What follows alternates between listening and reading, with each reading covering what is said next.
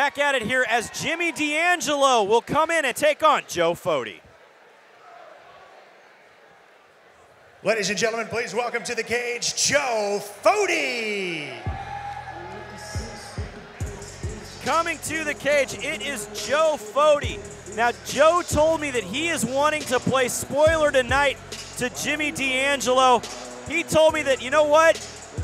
I'm here just to make a statement and show him that I don't need any of this, and I'm going to take this kid out. I don't care what kind of boxing the fireman has. I don't care who his wife is. He says, tonight's my night. That is confidence, buddy.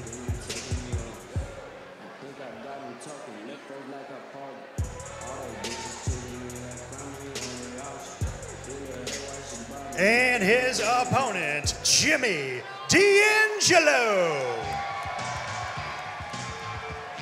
Making his way to the cage, it is Jimmy D'Angelo. This firefighter is all about the action. Found the world of combat sports from Guns and Hoses, a great organization. As we go to our supplement superstores, tale of the tape. Jimmy D'Angelo, 32, 5 foot 9, 142 pounds. Joe Foti, 30 years old, 5 foot 6, 132.4 pounds. Jimmy D'Angelo definitely has the height and reach advantage.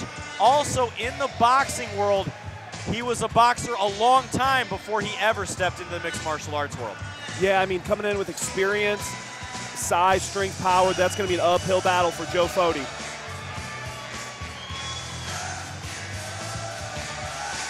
Ladies and gentlemen, this bout is set for three rounds in the Shamrock Fighting Championships featherweight division.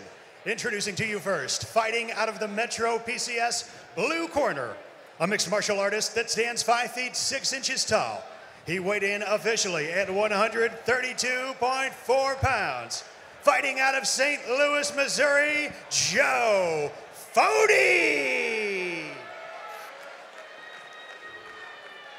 Across the cage, his opponent, fighting tonight out of the Metro PCS red corner. This mixed martial artist stands 5 feet 9 inches tall. He weighed in at an even 142 pounds. Fighting out of St. Peters, Missouri, Jimmy D'Angelo. Referee Dwayne Bess has the call for this contest. Jimmy D'Angelo in the fire engine red and Joe Foti in the blue. Quick touch of the gloves.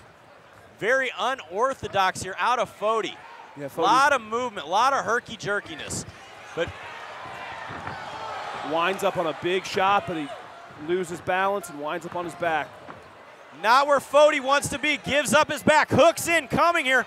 Already under the chin, right in front of us. Man, that's deep. That got tight and deep quick. Just pounces on him and finishes with that rear naked.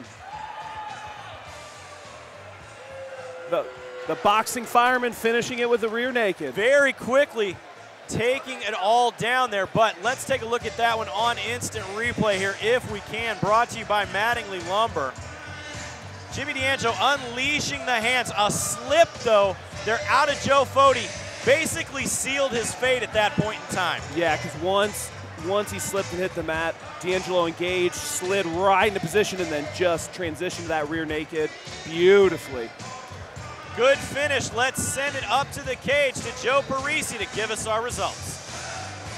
Ladies and gentlemen, at 23 seconds into the very first round, this one comes to a close. Your winner by submission out of the red corner, Jimmy D'Angelo. A big win here for Jimmy D'Angelo, finishing very, very quickly via rear naked choke. More action to come as coming up next here at Shamrock FC 305, we have another kickboxing bout as Dominic Boyd takes on Nick Williard.